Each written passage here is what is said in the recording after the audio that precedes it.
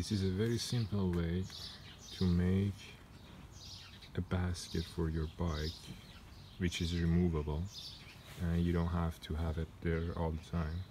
Uh, it costs you zero dollar um, the way I made it.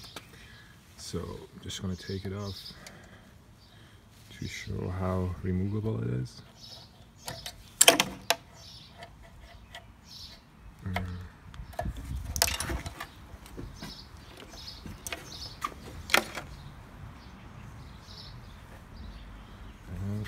here we go.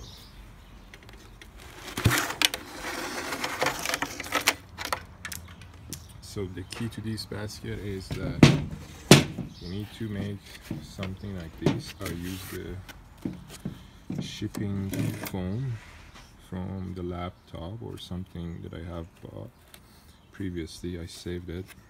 So you create two cuts in order to get the foam seat perfectly on the saddle so it doesn't move around because the saddle is very slippery but also you want to protect the paint on the saddle. So when you put these cuts on these like heavy duty foams you could easily slide it in and use zip ties